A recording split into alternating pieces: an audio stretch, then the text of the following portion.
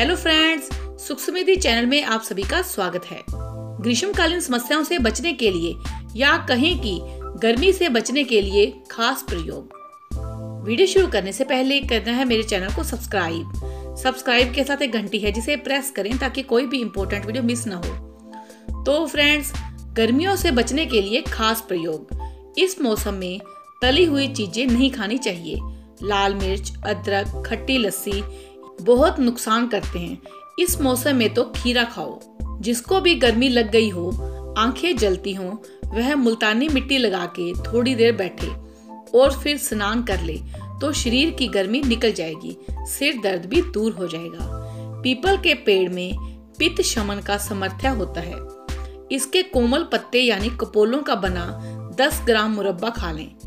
कैसी भी गर्मी हो, शांत हो जाएगी। इसका मुरब्बा बनाने की विधि पीपल के 250 ग्राम लाल कोमल पत्तों को पानी से धोकर उबाल लें। फिर पीस कर उसमें बराबर मात्रा में मिश्री व देसी गाय का 50 ग्राम घी मिलाकर धीमी आँच पर सेक लें। गाढ़ा होने पर जब घी छोड़ने लगे, तब नीचे उतारकर ठंडा करके किसी साफ़ बर्तन, इसके लिए कांच की बनी बरनी ज़्यादा उत्तम है। मैं इसे सुरक्षित करके रख लें।